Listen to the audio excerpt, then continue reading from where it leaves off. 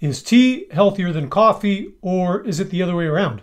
Which is the best drink for you? One similarity between tea and coffee is both drinks contain caffeine, but very different amounts. Ground brewed coffee has about 100 milligrams of caffeine per cup, while instant coffee, on the other hand, has about 60 milligrams of caffeine. It's got less caffeine. And decaf has even less, not zero, but a lot less. It has some residual caffeine. As for tea, black tea has about 50 milligrams of caffeine per cup, so not that different from instant coffee, surprisingly. Green tea has less, about half of that, so about 28 milligrams of caffeine per cup. And then herbal teas like chamomile have no caffeine. But there are some types of tea that are pretty high in caffeine.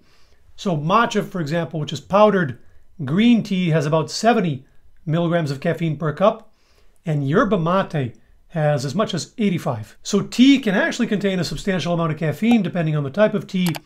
But the thing with tea is it also contains this other molecule called L-theanine, which is an amino acid that crosses the blood-brain barrier and can influence your nervous system. And that helps give you that smooth, calm energy of tea and less of a crash as opposed to coffee, which hits a lot harder and gives you that characteristic alertness and adrenaline.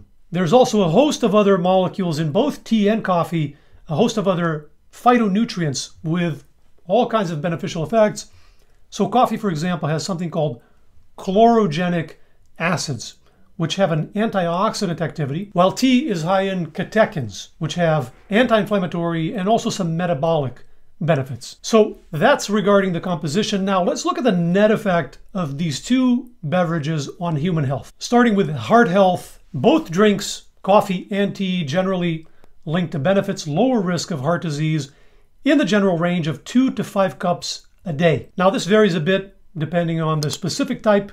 So for black tea, for example, there's some evidence that the sweet spot is a little lower around two or three cups a day and above four cups a day, the benefit seems to go away. While for green tea, we see a continuous trend of benefit increasing with more green tea intake. Also under this umbrella of heart disease, if you have cholesterol issues, if your cholesterol numbers tend to run a little high, you want to be careful with unfiltered coffee because coffee contains some molecules called diterpenes, which can raise your cholesterol level. Now, diterpenes are removed by filtering, so that's one strategy. And also instant coffee, interestingly, the process of making instant coffee removes diterpenes. So either of those approaches work. And lastly, careful with the additives, the cream, the sugar, all the stuff that we add on top of the coffee or the tea. Often that's more the issue and not the drink itself. Okay, next, cancer.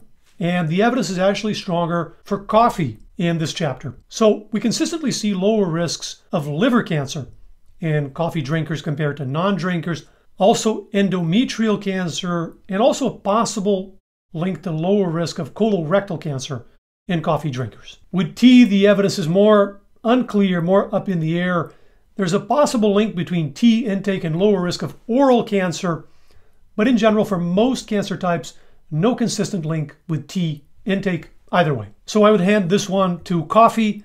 Neither drink is harmful as far as cancer, but we see a stronger link with lower risk of certain types of cancer with coffee. While we're talking about cancer, there is a link between either drink and higher risk of esophageal cancer if the drink is consumed very hot, like 65 centigrade or higher, regardless of whether it's tea or coffee. So whichever you choose, let it cool down a bit before you sip. Another chapter, metabolic disease, metabolic syndrome, and we see a lower risk of metabolic syndrome linked to both coffee and tea. Similar for brain and mental health, we see both tea and coffee linked to reduced cognitive impairment and reduced dementia risk, and in the range of two to four cups a day. So both healthy drinks, both mainly connected to benefits. Coffee has stronger evidence when it comes to cancer prevention, especially liver cancer, and for people who are looking for that jolt, that uh, alertness, then coffee is going to have an edge, pun intended. On the other hand, for people with caffeine sensitivity who get anxiety or tremors or jittery with coffee, also for people with insomnia, with issues with sleep, and for people who are shooting for that relaxing, calm feeling, then tea might be a better choice for you. And lastly, avoid large doses of caffeine from any source if you're pregnant And if you have iron issues, if your iron levels are a little low, be aware that coffee and tea can inhibit the absorption of a type of iron called non-heme iron, with tea having a stronger effect, a stronger inhibitory effect. So avoid drinking coffee and tea real close to meals if you have that issue. If you drink it an hour or more before or after meals, you should be fine. And remember, regardless of your drink of choice, careful with the temperature and careful with the additives, the sugar and the creamer and whatever else is added. For a lot more on the link between coffee and cancer, check out this video and I'll see you in there.